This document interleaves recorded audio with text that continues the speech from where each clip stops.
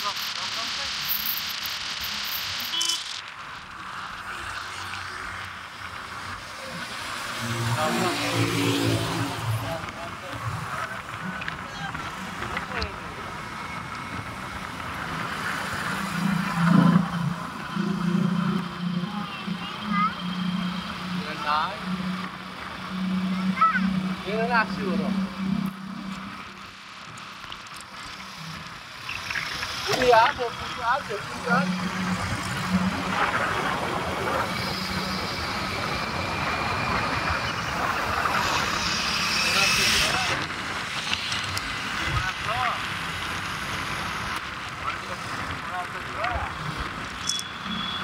Yeah.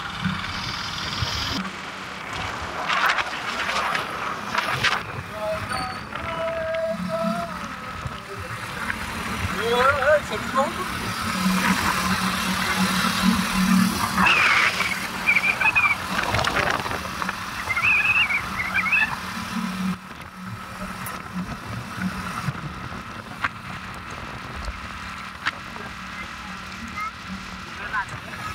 Ờ, đứa nào chưa được chơi nữa